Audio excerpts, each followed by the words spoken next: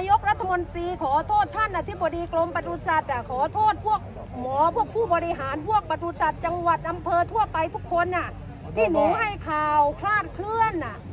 อืมหนูข่าวมันคือพูดไปอะนะหนูไม่ได้ ไม่ได้อยากให้เป็นข่าวอะหนูพูดแค่ระบายว่า เออ ถ้าเกิดภาวะตลาดมันอย่างนี้อะหนูก็แย่ประมาณนั้นน่ะ คือหมูหนูไม่ระบายออกแล้วหมูหมูหนูโตทุกวันทุกวันหนูจะเอาไปไหนอะพี่เข้าใจหนูไหมอะอืม นั่นแหละไม่ได้ไม่ได้ คือห่วงใยคนอื่นมากกว่าตัวเราเอง ไม่ได้ห่วงใยคนอื่นดิห่วงใยตัวเองว่าเลี้ยงแล้วจะเอาไปไหนหมูขาดทุนดิใช่ไหมล่ะท่าน ความความความในใจหนูมันเป็นอย่างนี้แล้วทุกวันนี้เรามีหมูเท่าไหร่ มีอยู่พันสี่ห้าสิบตัว แล้วเราได้ขายให้กับฟาร์มยังไหมเอ้ยขายให้กับเอ่อบริษัทและยางยางเลย ยังไม่ได้ขาย มันจะถึงกำหนดวันที่หนึ่งกุมภา